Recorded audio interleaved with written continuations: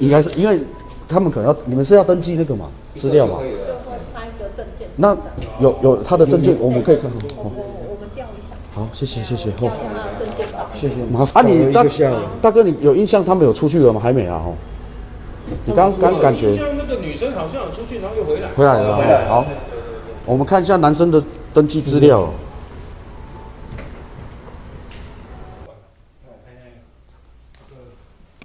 派出所，派出所。来来，迄个厕所然后那没关系啊，哈，没关系。哦，阿喜来这边，哎呀，哎呀，啊，你的衫呢？哎，我三个等等一下。工作就好好的，你干嘛跟他出去呢？你要出门，至少要跟妈妈讲，不然就不要上班的时间。你放假的时间要出门再出门，对不对？那、你上班时间，第一个你没去上班，手机又联络不上，